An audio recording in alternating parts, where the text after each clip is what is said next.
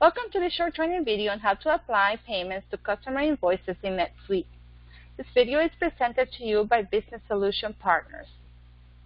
I'll show you how to access the payment entry form, how to select or review the AR and cash accounts. I'll show you how to apply full or partial payments to invoices. And I'll show you how to search for payments associated with an invoices after processing. There are multiple ways to access the Accept Payments entry form. One of them is to search for the customer. And when you find the customer that you receive payment for, you can click on Accept Payment. Another way is to search for the invoice, and from the invoice you can accept payment. But I'll use the customers accounts receivable accept payments option.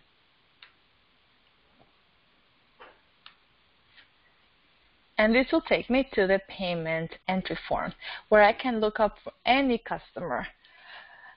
The payment number is pre-filled and so is the date, which can be changed to a previous date.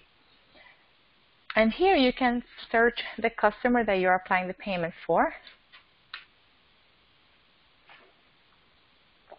And once I selected my customer, a few fields have been pre-filled, such as the accounts receivable this customer is linked to, the subsidiary, um, there is a balance from this customer. The AR account is the one associated with the customer, which you select at the time of setting up your customer record.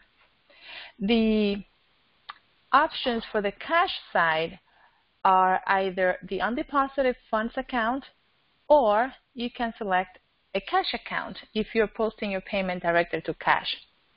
I don't have a cash account set up for this subsidiary, so I will have to leave my payment in the undeposited funds account, which I can choose either here or just click here. The currency is the one associated with the customer, which is the same currency associated with a subsidiary because you can only have one subsidiary per customer. Now I'm going to scroll down. Some of these fields up here you can use if you're required to, like location, the memo, you can enter a memo, or you can enter a memo for your payment if you wish. Over here where we have apply, we're going to start applying the payment to my customer invoices. So I want to show you how to enter a full payment and a partial payment. If the customer sent me 500 oh no, $750 and I confirm that the customer is paying the remaining balance on this invoice and partial payment on this one, I will click on this one uh, invoice, the first one, and the payment amount is defaulting to the invoice amount or the remaining invoice balance. You can change that here if, let's say, the customer had only sent $150 for this invoice. For the second invoice, I confirm that the customer only paid 500 so I will change this to 500 And you can see here now that the payment amount has been updated to 750. The next time I get a, a payment from this customer, if the payment is for the remaining 500, I'll come back here and go through the same process.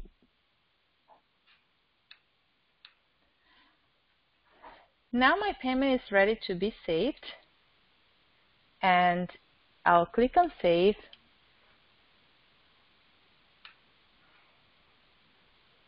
and just give it a second.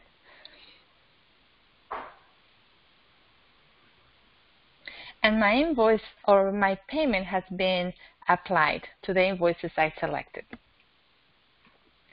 So now let me show you how in the future you can find payments associated with an invoice. Let's take this invoice for example, 3093899. 309 3899 and let's say I'm here and I'll type 309 3899. It's an invoice. You click on it and then once you get to the invoice, you can find payments that have been made against this invoice previously by going to related transactions over here. And if you scroll down, you can see the payment that I just applied to this invoice today. And it shows that it's not deposited because, as you might remember, I set my cash account to the undeposited funds account. We hope you found this video useful. If you have any questions about any of the features described in the video or need training or support with NetSuite managers or transactions, please contact Business Solution Partners at the email or phone number on the screen. Business Solution Partners is a NetSuite partner and a management and consulting firm specializing in cloud-based system implementations. Their staff members and management team include CPAs and certified solution developers with over 25 years of experience in accounting and system implementations.